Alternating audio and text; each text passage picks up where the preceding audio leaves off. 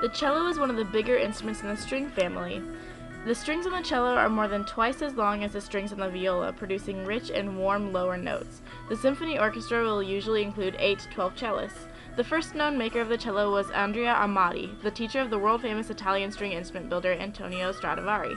Amati's original cello was slightly larger than the modern cello. The size was eventually reduced in order to reduce the tension in the cellist's left hand.